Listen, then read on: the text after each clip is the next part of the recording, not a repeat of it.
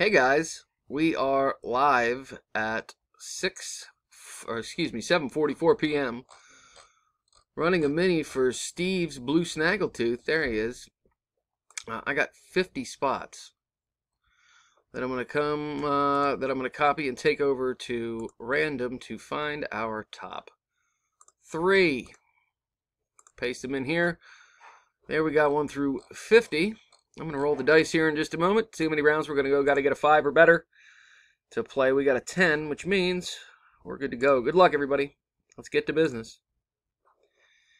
James takes round 1. Brian 2. James 3.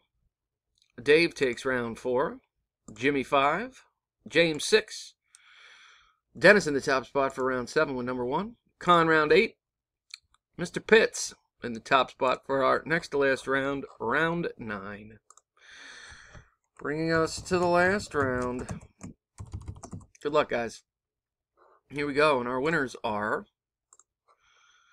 Troy Pitts, Troy Pitts, and James Smith. Congrats, fellows. Here's the verification. We'll make it legit. CISRQD is our verification code. There's our winners. Troy and James are victorious. I'm done at 745. As you can see here.